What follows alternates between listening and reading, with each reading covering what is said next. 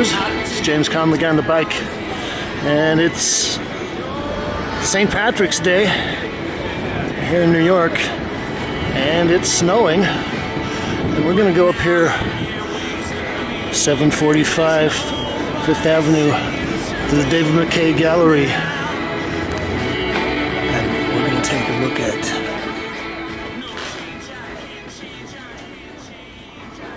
Phil Guston, centennial exhibition. Well, I've been anxious to see this show for about the last two or three months. Uh, one of our viewers from Brazil, Claude, had given me a heads up and said I had to come by and see the show. So we'll uh, take a little sweep around here.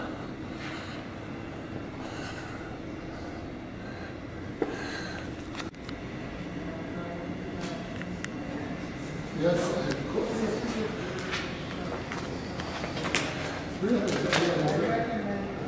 this piece is titled Dawn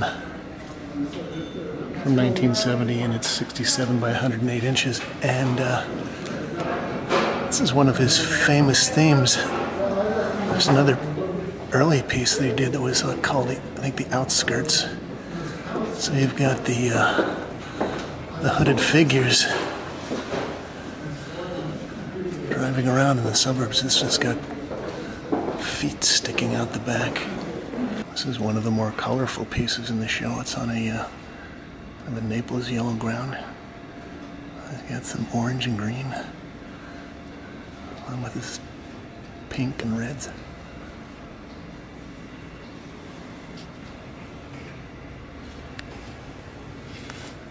Oh, that's a great sun. Well, think uh, Philip Guston is maybe one of the most interesting painters of the last century, at least here in New York. It's called Inside. This is charcoal on paper, 1969, 17 by 23 inches. And uh, in a lot of ways, his, uh, his whole career kind of uh, followed the course of the aesthetic changes happening in, in America over about a 50 year period. This is titled 2JS 1977, 68 by 104. And uh, I'm just glad I had a chance to see this show. It was a great retrospective at the Met probably about six or seven years ago, and it was before I started doing the Kalm Report, and uh, I always kick myself. I wish I would have been able to video that. This is an earlier piece.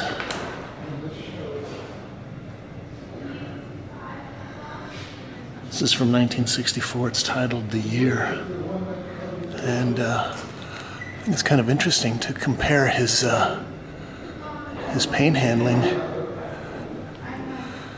when he was still working in his kind of what some people have called abstract impressionistic style. But uh, it's got a lot of gray in there, and it, it's not really the kind of pure color the impressionists would have been working with.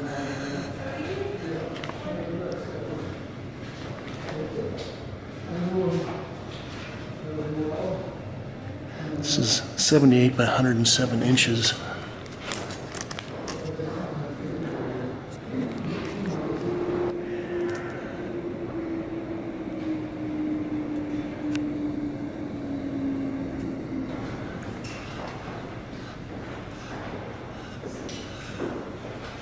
This is titled Plotters, 1969. Oil on panel. Is a beautiful little piece. And I've heard or I've read things where Guston talks about feeling like he was one of the people under the hoods.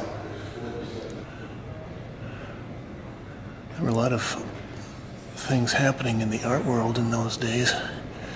I have a friend who's a German artist named Wolfgang Petrick, and uh, he was studying in Berlin in 1958 when the uh, New American Painting Show that was curated by Dorothy Miller came there to the uh, Hochschule für Kunst, and uh, he said that a lot of the young German painters at the time, people like Baselitz and Lüpertz, saw that show and were very much influenced.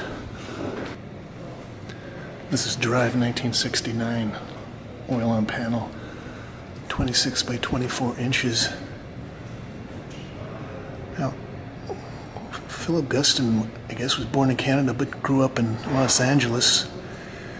And uh, there's some very tragic stories about uh, his father who committed suicide, and I guess Philip discovered his body. And uh, I guess at the time, the Ku Klux Klan was kind of a big threat over Southern California. This is titled Shoes. 11 by 14 inches. And uh, when Guston went back to figuration from his abstraction, I think a lot of it was uh, related to cartoons. People like George Herriman and Krazy Kat. This is titled Book.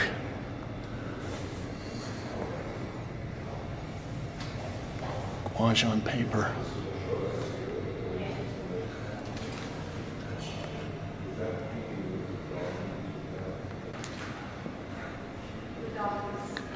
So while he was in LA, he was hanging out with kids at the School of Manual Arts and met some other people like uh, Jackson Pollock and uh, Reuben Kadish. This is kind of an odd uh, mixture of his uh, iconography. It's like his little uh, heels his little shoe forms have got hair growing out of some of them. I wonder what that means. This is untitled 1980 acrylic on board. This is one of the late pieces.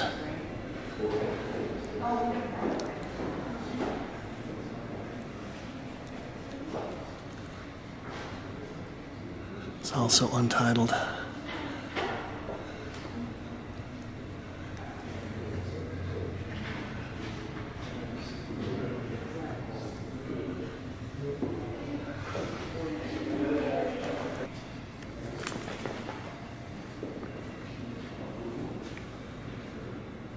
Oh, this is a beautiful piece. This is Discipline, 1976. And uh, is really a great example of the classic uh, figurative work. Let's look at some of his brushwork.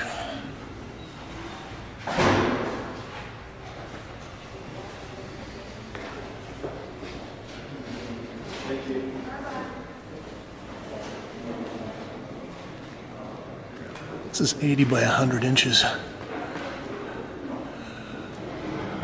Well, Raphael Rubinstein recently wrote an article about uh, Neo Expressionism and uh, how it had pretty much been forgotten by the uh, art institutions, the museums, curators. And uh, in a lot of ways, I think Guston is a perfect example of someone that uh, was kind of asking the same questions at the uh, end of the 60s that a lot of people were asking again at the beginning of the 80s with uh, the advent of neo expressionism. This piece is titled The Canvas.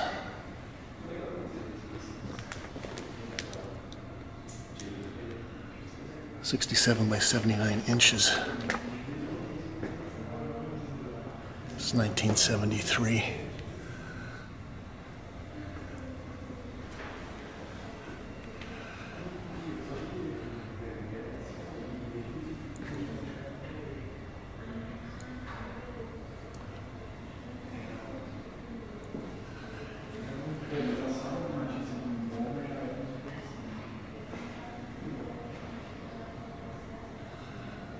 Here's another major piece. This is titled Waking Up 1975. This is 67 by 129 inches. Well, I remember coming and visiting the David McKee Gallery when I was up at the uh, Hotel Barbizon and seeing a couple of the very last Guston shows before he passed away. And uh, so this was the late 70s, and I think Guston was maybe one of the most important painters for young artists at that time. And as I run around out in places like Bushwick, I talk to a lot of uh, young painters that still find Guston as a great inspiration.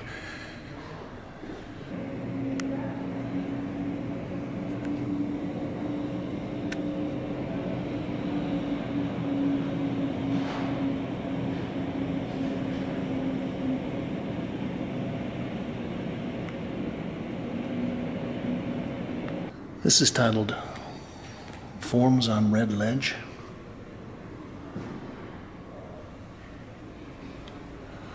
It's another beautiful, beautiful work here. Now, I think at some point, uh, Guston won a Prix de Rome, and while he was in Rome, he spent a lot of time looking at uh, the work of Morandi and uh, also De Chirico.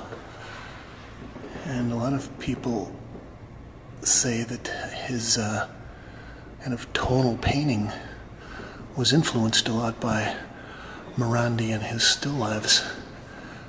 And that's that's kind of a nice little still life right there.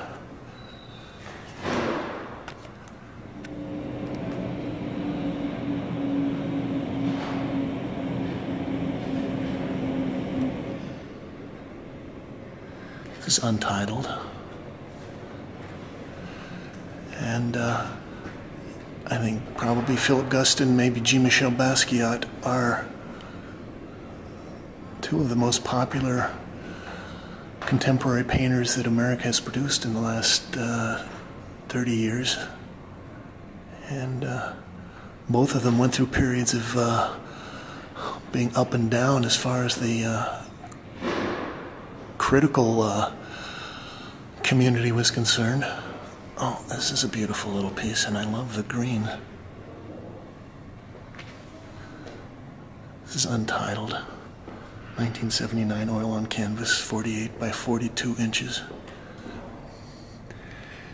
And uh, I've heard a lot of people kind of uh, criticize Guston's palette and people referring to it as having a pink eye because it's got a kind of a, an Indian red base, but this is a great example of him going in and using that brilliant green, getting that great mileage out of that. What do you think those are? Garbage can lids?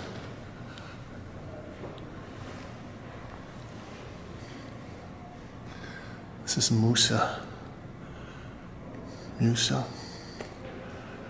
It's a portrait of his wife. It's 1975. 48 by 70 inches. And uh, he does have a wonderful touch with his paint.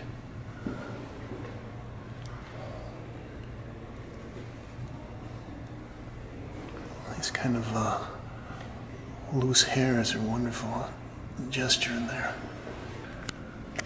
Oh, it's also interesting. He's got this little uh, white margin here on the bottom of the painting, which uh, kind of recalls the work of Jasper Johns or even uh, what Brice Marden was doing at that time.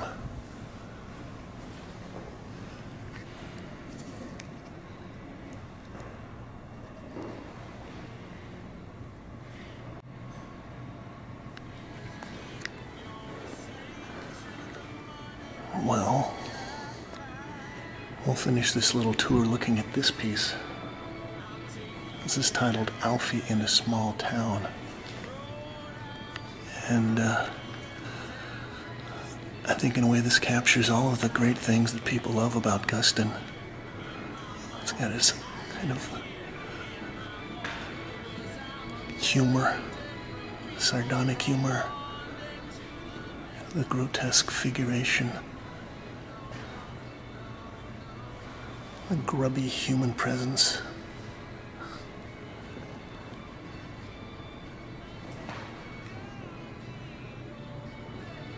Well, the composition's great. He's even got some blue in there.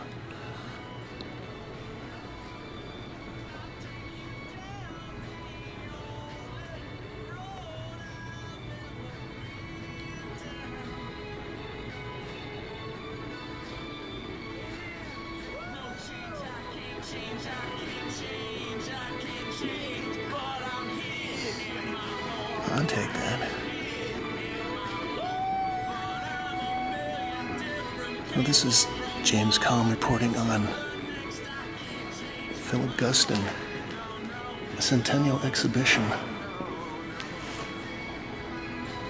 here at the McKee Gallery, 745 Fifth Avenue. Thank you, Kate. That's life. Try to. You're a slave to the money, then you die. I'll take you down.